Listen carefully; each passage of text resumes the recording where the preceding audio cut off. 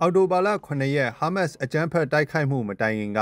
ဂျော်ဒန်မြစ်နောက်ဖက်ကမ်းနဲ့ဂါဇာကပါလက်စတိုင်း2သိန်းကျော်ဟာအစ္စရေးဘက်မှအလုတ်သွားလုပ်ကြတာဖြစ်ပြီးပါလက်စတိုင်းစီးပွားရေးကိုထောက်ပံ့နေတာပါ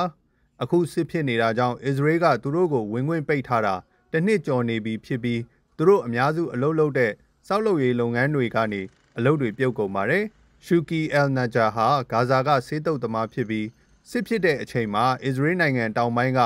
ဘီယာရှိဗာမြို့လေးမှာအလုတ်လုပ်နေတာပါအခုအချိန်မှာသူဟာအလုတ်လက်မဲ့ဖြစ်နေပြီးအနောက်ဘက်ကမ်းကရာမာလာမြို့မှာတောင်းတင်နေပါတယ်အစ္စရေးလည်းဝင်လို့မရနေဆက်တွေလည်းပိတ်ထားလို့ဂါဇာကိုလည်းပြန်လို့မရဖြစ်နေတာပါစစ်ပွဲမတိုင်ခင်တုန်းကတော့ကျွန်တော်အလုံးမရှိရင်တောင်အေးဆေးနေလို့ရပါတယ်ကျွန်တော်မိသားစုနဲ့တူတူနေရတယ်ကြောက်စိတ်လည်းမရှိပါဘူးအခုဆိုရင်စီးပွားရေးလည်းမကောင်းပါဘူး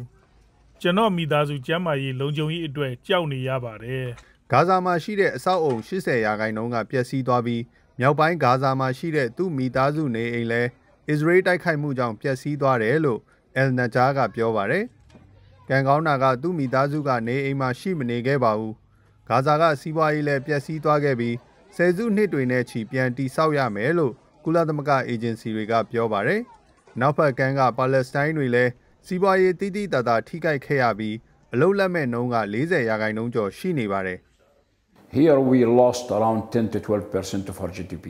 စစ်ပွဲတစ်နေ့အတွင်းအနောက်ဘက်ကမ်းမှာကျွန်တော်တို့ GDP 10ကနေ12ရာခိုင်နှုန်းလောက်ဆုံးရှုံးသွားပါတယ်။အခုဆိုရင်အလုံးလက်မဲ့ကလည်း3ဆလောက်တိုးလာပါတယ်။စင်းရဲမွဲတည်မှုလည်းတိုးလာပြီးတော့အခုဆိုရင်အနောက်ဘက်ကမ်းမှာစင်းရဲမွဲတည်မှုက45ရာခိုင်နှုန်းရှိပါတယ်။ အနောက်ဘက်ကမ်းကစီးပွားရေးလုပ်ငန်းအများစုဟာပိတ်ထားရတယ်လို့လူတွေလည်းအများကြီးရှော့ပြီးလုပ်နေရပါတယ်။သူကလေးတွေကျွေးနိုင်ဖို့တော့မနှဲလုံနေရတယ်လို့ဗဘဲလုပ်ငန်းလုပ်ကိုင်တဲ့ Ravi Falifel ကပြောပါတယ်။သူ့အလုပ်ဖြစ်တဲ့တန်စကာနဲ့ရင်းပေါက်အလှဆင်တန်ပန်းတွေကိုထုတ်လုပ်တာ90ရာခိုင်နှုန်းကျဆင်းသွားပြီးလူတွေကအစားအသောက်အတွက်ပဲငွေကိုစုထားကြတယ်လို့ပြောပါတယ်။ကားပြင်လုပ်ငန်းလုပ်ကိုင်တဲ့ခလီအဘူအာယာစ်ကလည်းအခုလိုပြောပါတယ်။ واللي معاه 10 ليرات بجيبته يعني လူတွေကအလုံးမလုံးကြတော့ပါဘူးပတ်စံ100လောက်ရှိရင်အစားအသောက်ဝယ်ဖို့စုထားကြကြပါတယ်စက်မှုလုပ်ငန်းတွေရှိရလာပြီးတော့တကားဝယ်တာကားပြင်တာမျိုးတွေလည်းမလုပ်ကြတော့ပါဘူး يعني فيش خزينه فيش رصيد လက်ရှိအနောက်ဘက်ကမ်းကအခြေအနေဟာသူတို့ကြုံဘူးသမျှထဲမှာအခက်ခဲဆုံးပဲလို့ဒေသခံတွေကပြောပါတယ်ဂါဇာကစစ်ပွဲအမြန်ဆုံးပြီးဆုံးသွားတဲ့အခါသူတို့အနေနဲ့အစ္စရေးမှာအလုပ်ပြန်လုပ်နိုင်ပြီးစီးပွားရေးပြန်ကောင်းလာဖို့အတွက်မျှော်လင့်နေပါတယ်ခင်ဗျာ။